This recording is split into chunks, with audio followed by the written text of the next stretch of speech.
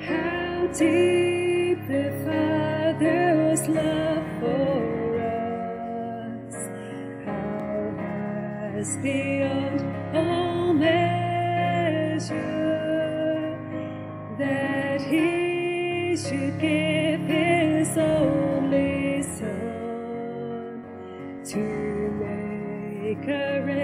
Here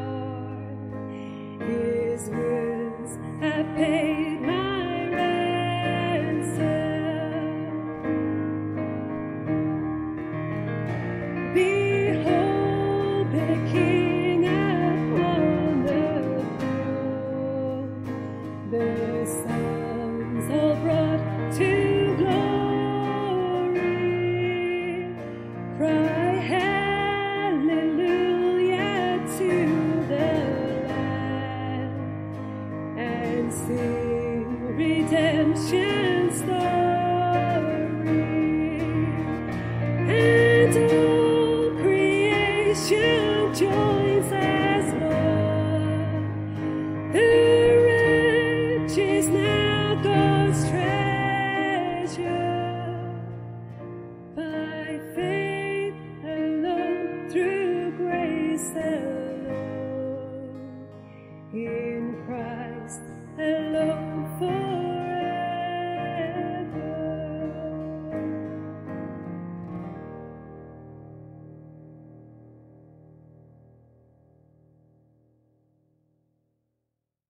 Folks, if you have your Bibles with you uh, this morning, or you look it up on your phones, uh, it's Isaiah 43.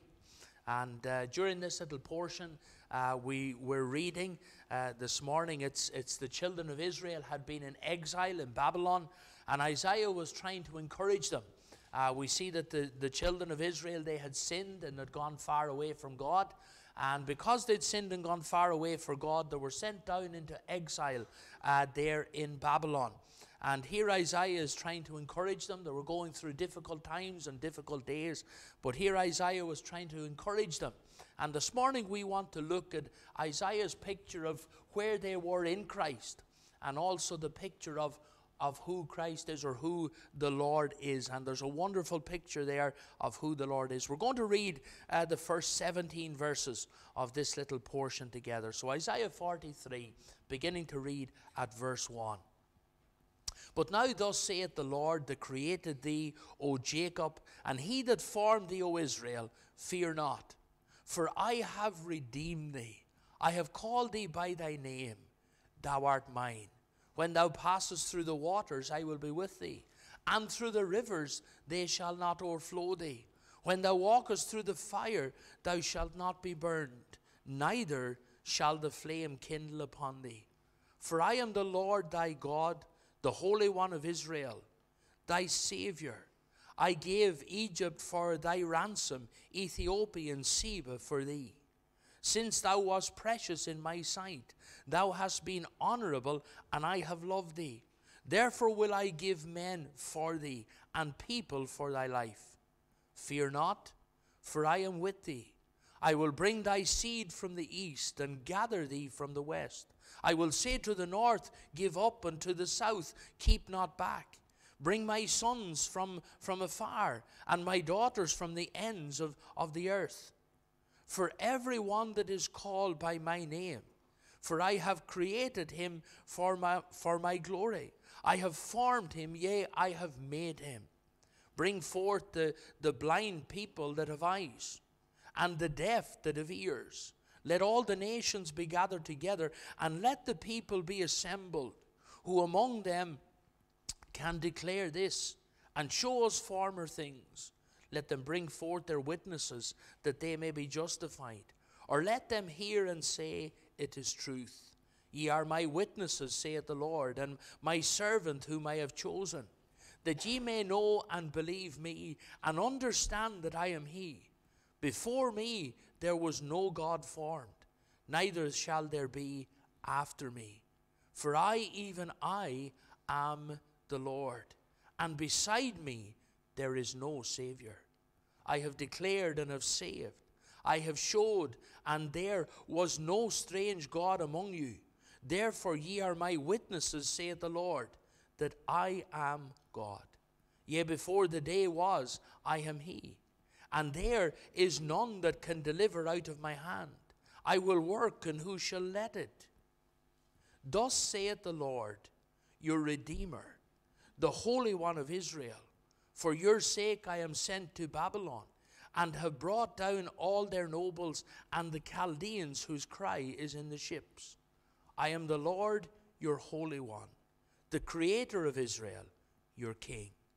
Thus saith the Lord, which maketh a way in the sea, and a path in the mighty waters, which bringeth forth the chariot and horse, the army and the power. They shall lie down together, they shall not, they shall not rise. They are extinct, they are quenched as thou. And we'll finish the reading of God's word there at the end of verse 17 together. We trust it'll be a blessing to us, and as we bring a few thoughts from this after uh, a wee while. Folks, if you have your Bibles with you, we're going to uh, turn to this little portion in Isaiah 43. And as I said, there's so much in this, you could preach many a sermon on it. And there, there's so many wonderful thoughts that we can look at. Uh, this chapter is a continuation from the chapters that have gone before. Uh, it's speaking there really about the about the judgment that was going to come upon God's people because they had fallen into sin, they had continued in sin, and uh, the Lord had rebuked them by sending them, sending them down uh, into captivity in Babylon. And here we see a people down in Babylon, we see a people who were, who were dismayed we see a people who, who had gone through some very difficult times of suffering. And here in this lovely little portion that we're reading from Isaiah 43, we see Isaiah speaking to the, the people themselves And Isaiah wanted to comfort them, he wanted to reassure them, he wanted to remind them of a promised deliverance. In other words, he wanted to say, Listen, look, you can comfort yourself because God says He'll not leave you, He'll not forsake you. You can reassure yourself because He's here with you. Although you're in a foreign land and although you're in captivity, God is there. And he also wanted to remind them that God had promised, yes, that He would bring them back out of captivity and He would bring them back to the promised land. And this chapter and this little portion here that we're looking at this morning, it longs to remind the people that God is their, their protector. And isn't it wonderful, even in the days we're living in, to know that God is our wonderful protector? He's the one who looks after us, He's the one who cares for us. And there's nothing comes our path, but the Lord does not know before. And the Lord is not with us as we are going through them. And He told them that He was going to come and that He was going to bring deliverance to the nation. Um, verse 14, if you read there, true, thus saith the Lord your Redeemer, the Holy One of Israel, for your, for your sake. And, and sometimes when we go through difficult times, we say, well, you, you know, what have we done wrong? Or have we done something that has complicated the whole thing? Have we sinned against God? But he says here, for your sake. In other words, they were sent down to Babylon for their own sake and for their own benefit and for their own blessing. And many things that we go through in life are for our own benefit and our own blessing. Because Christ says, As you have tried me, I shall come forth as fire. And sometimes when we go through the trials of life, that they're talking about the precious trials. Now, sometimes it can be anything but precious to us. But God says, even in the midst of them, He's there with us and He's helping us and He's, he's bringing us through. He said, Because uh, for your sake I have sent you to Babylon. I have brought down all their nobles and the Chaldeans whose cry is in the ships. In other words, listen, look, it doesn't matter the power of Babylon, it doesn't matter what they have. One day I will judge Babylon, and then I will bring my own people out of Babylon. And God did judge them, as He had said He would do because of the treatment of his people. And can I say this morning, there's a number of things in this little portion, first of all, where God uses words for his own people, for those he knows, for those he loves, for those who, who belong to him. And I want to look at a few of them this morning very quickly because there's a fourfold picture of God if we get time to look at it here. If not, we'll move on. But what I want to say, there, there, are, there are five things that God says that he is to us, and that we are sorry to him. If you read through verse 1, it says, But now thus saith the Lord that created thee, O Jacob, and that formed thee, O Israel, fear not, for I have redeemed thee. And the word redeemed is mentioned further on down in this passage as well. But, folks, can I say, first of all, we are a redeemed people. If you take, look up that word redeemed, it's, it's to pay a price to ransom something. So, in other words, it's, it's to pay the price so that, that that item could be set free. And, and it really comes from, from, from the idea of, of something you maybe had pawned and something you'd put into the pawnbrokers and you, you got a price for it. But you had a certain price to pay to redeem that or to get that back. So when you went in and you paid the price, you were able to get it back. And that's what the word redeemed means. It says here, listen, we're redeemed because it's something that you've brought out of danger, it's something that you've brought out of bondage, and you have redeemed it. And that's what God says to us listen, we're in danger. Because, folks, if we continue on a, on a road away from God, if we continue on a road far away from God, folks, we're going to end up in the place in eternity we don't want to end up. Broad is the way that leadeth to destruction, as it says in Matthew 7, and many there be that go in thereat. But narrow is the way that leads to life, and few there be that go in. So it's a place that's in danger. And if you continue down along the broad road, there's only one place we're going to end up. And that's in a lost eternity, as the scripture says. That's in hell. So that's the broad road. And then we have the narrow way that leads to life. So it's danger and it's in bondage. You know, many people think today, listen, because we don't have anything to do with God, because we don't, we don't have any spiritual idea at all, you know, we're, we're free. We're free to do exactly what we like. But you know, it's the actual opposite. They're, they're not free at all. They're under bondage because they're under bondage to Satan and they're under bondage to sin. They're under bondage to self. That's the simple reality. You see, Christ has come to set us free and to make us new creatures in Christ Jesus. And he notice the term here, I have redeemed thee. If you go into verse 14, he even says, Your Redeemer. So he's come to set us free. And the price was the Lord Jesus Christ dying upon the cross for us. So I suppose the first question were a redeemed people. Is he your Redeemer? Isn't that the wonderful thing this morning? That's the greatest question you can answer. You can say, Yes, He's my Redeemer. He's my Savior. He's my Lord. So we're redeemed people. In verse 4, if you move down, there it says, Since thou wast precious in my sight. Can I say this morning, we are a precious people to Him. You know, there's not one of us the same here this morning. We're, we're all different. That's the wonderful thing about us. Our eyes are all different. It might, some might be the same color, but they're all different because it's the same as a fingerprint. It's completely different. There's not one of us here with the same fingerprint because, folks, we're all different.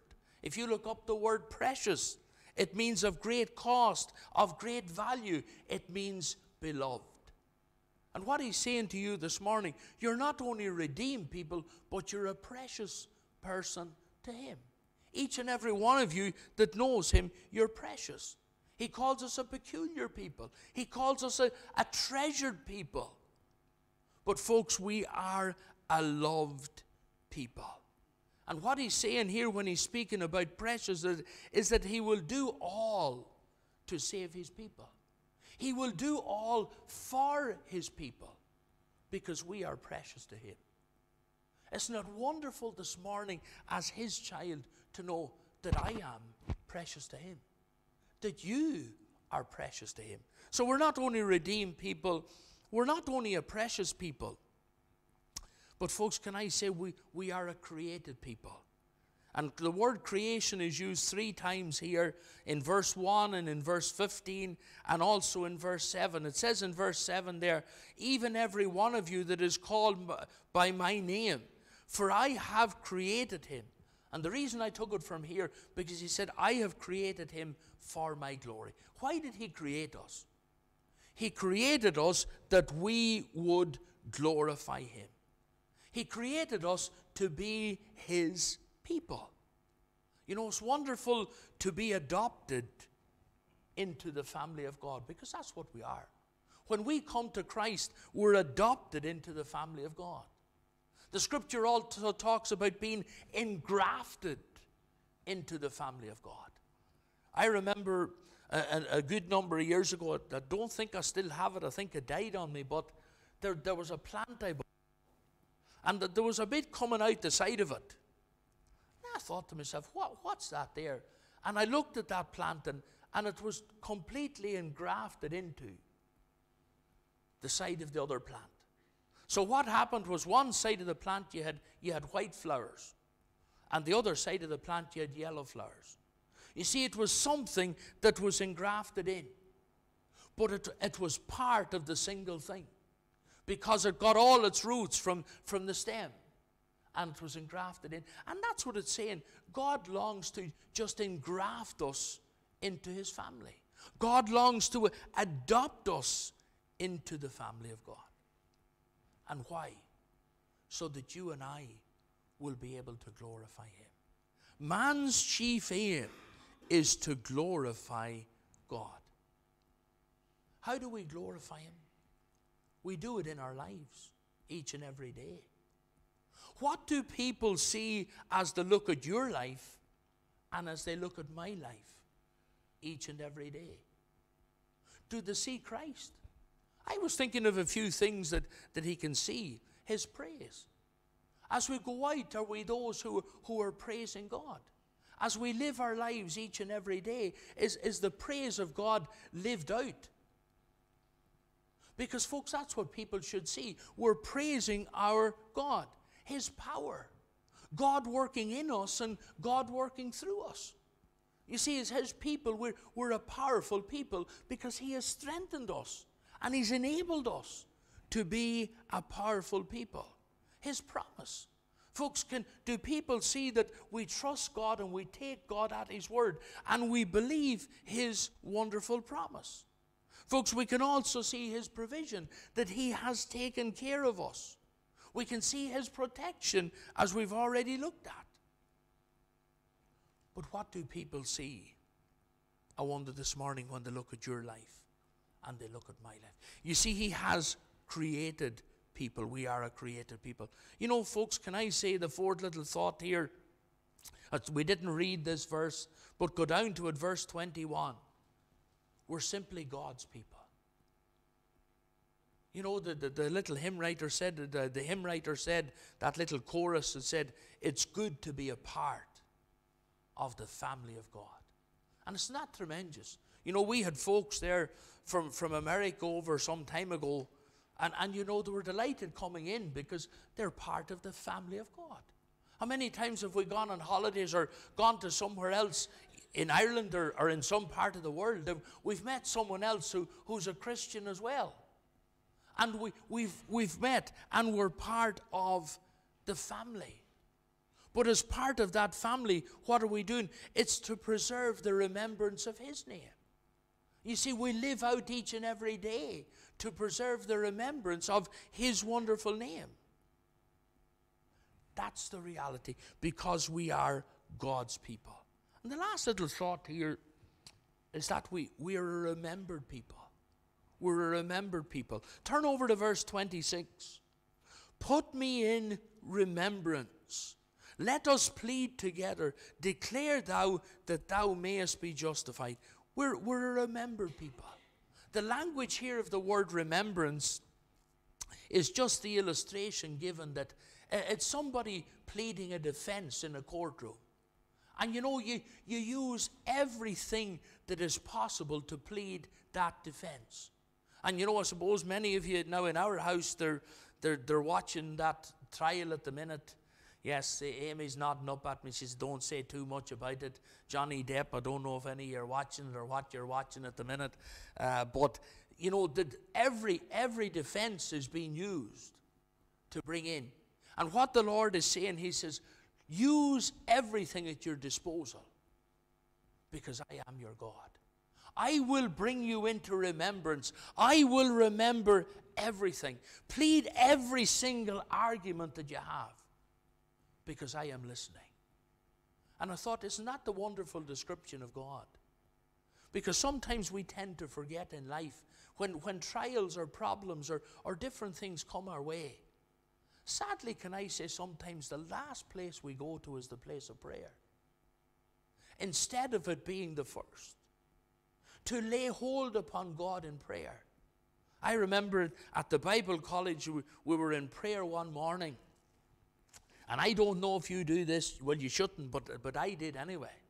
And I remember one of the men there, he was praying. And, and I opened my eyes. Anybody open their eyes in a prayer meeting? Go on, anybody put your hands up. Aye, very good. I'm glad because I, I knew there was because I've seen you opening your eyes in the prayer meeting, so that's just I don't know. But you know something? Folks, we, we open our eyes maybe to see or maybe to just change the position of our eyes. That's what I always like to say. But you know, I opened my eyes that day and I saw this man and he was praying, but he was pleading. And this is the way he was praying he was praying for God to come down, and he was praying for God to answer. And, folks, this is what the idea of this are remembered people. We're praying and we're pleading on God to come and to look after our situation. Isn't that chorus through this morning? God is still on the throne. And He will remember His own. His promise is true. He will not forget you. Why? Because God is still on the throne. That's our God. And, folks, we have to remember this this morning that we are a redeemed people. We're a precious people. We're a created people. We're God's people. We're a remembered people. Because here, Isaiah said to the people, This is to encourage you. In the midst of everything, be encouraged. Because God will never forget his own. Folks, can I say, and I know time doesn't permit me, but I just want to look at one or two of them this morning. If you move on to verse 15, we get a fourfold reminder of who God is. And sometimes we can forget. Why do we have our service of communion that we're going to have next Sunday? Because the hymn writer said, Lest I forget Gethsemane, lest I forget thine agony, lead me to Calvary.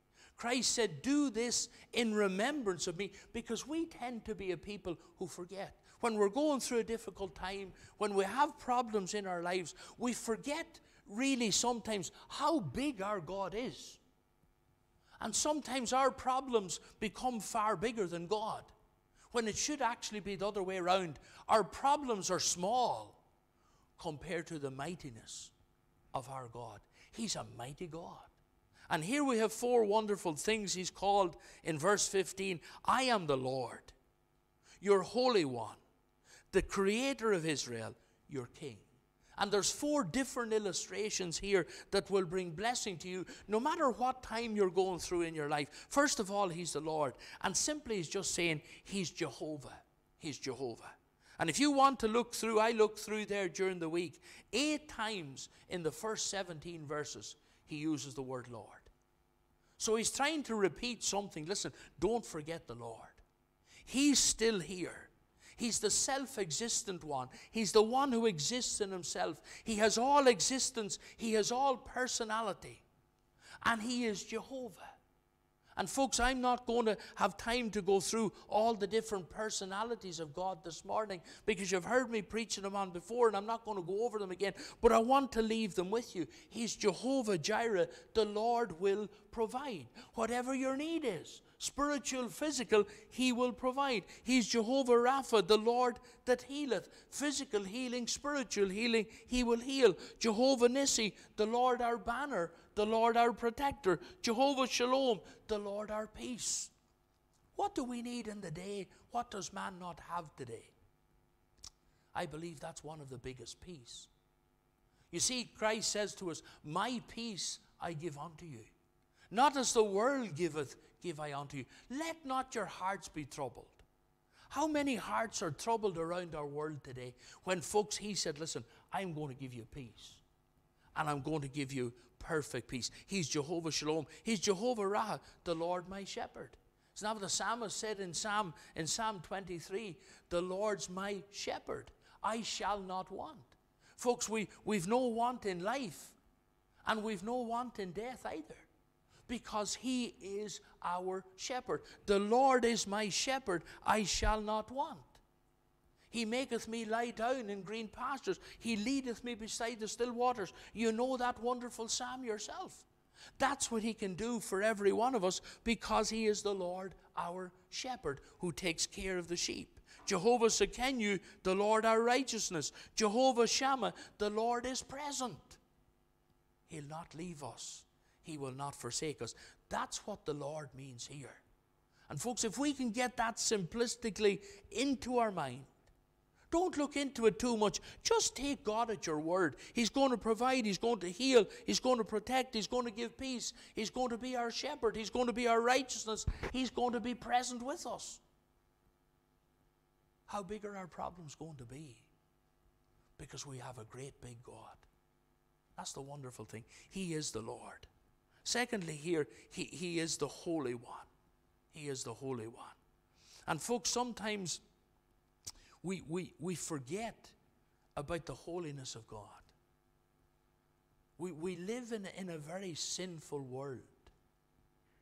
And we, we live in a very in a world that is that is led by sin and is dominated by sin because it's led and dominated by the God of this world. But what does your God and my God demand of us? He demands a, a holy life. There in verse 14 it says, it says, Thus saith the Lord your Redeemer, the Holy One of Israel. But verse 15 it puts in another word. If you read it, it says, Your Holy One. He puts your before it. Holy is belonging or devoted to God. You're Holy One. I am holy. So he's saying, listen, folks, I long that you will be holy as well. And God is looking at a people who have departed from Him and are in Babylon because they've sinned against God. They're living an unholy life and they should be living a holy life. He's looking at the nation of Babylon, a sinful nation who totally go away from God. And he's saying, Listen, I long that you, my people, will be holy. He was asking his own people to live holy lives. But he was also saying one, uh, one wonderful thing here. He's telling his people that as a holy God, he will make good on every word that he has given to them. You see, as a holy God, he cannot go against his word. When he has promised to bring them out of bondage, he will do it. And can I say what he has promised to do for you and for me? He will do it. He was saying, Listen, you, my people, take me at my word. What I have said to you, I will fulfill it. I was speaking to a wee woman recently, and with this was this I finished. This wee woman was was speaking to me, and she said, You know, I was reading my daily quiet time. And as I was reading my daily quiet time, the Lord gave me a word. And she says, You know, I, I thought it was a wonderful word of what He was going to do. And she said, I, I, I you know, I looked at it, I read it, I, I prayed over it, I did everything, but she said, I had no real peace about it. And she says, I went, I went and I spoke to a minister that I know. And she said, after I spoke to the minister, and I told him about the word that I had got. And I said to this minister, I said, You know, this is the word that, that God has given to me. And he replied to her, He says, I don't think that it's just a word. I think that it's a promise from God. And she asked me, Mervyn, do you think it's a promise? And I said, I do. God has given you a promise and God will keep His word. And sometimes, folks, if God has given us a promise, it may take a year, it may take two years, it may take five years, it may take ten years. I remember a man speaking here one night and he said it was over 40 years before God fulfilled his promise. Time is not the problem, folks. The reality for you and me is that God has given His word. And the God who has given us His word is the God who will keep His word because He's a holy God. He's a holy God. And He will keep His word. He's the creator. Folks, we can also see in verse 15, and then He's your king. And I trust as the creator, you remember you're created for His honor and glory, but also as your king remember that He's to be king over your life in every single aspect. Amen.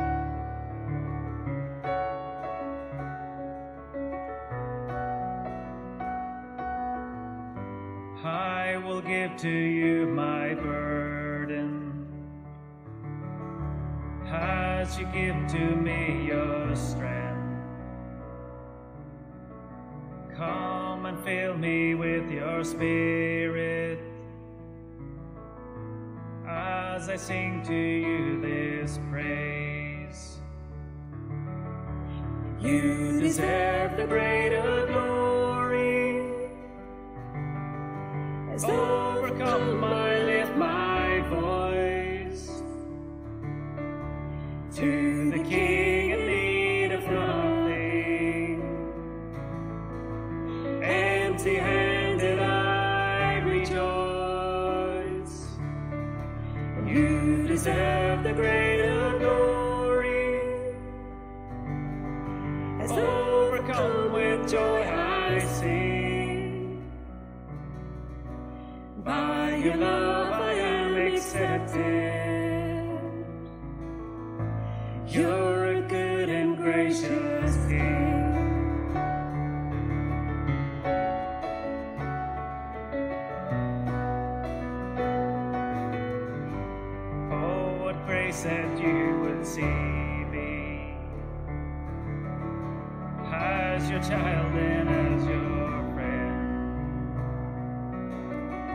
Safe, secure in you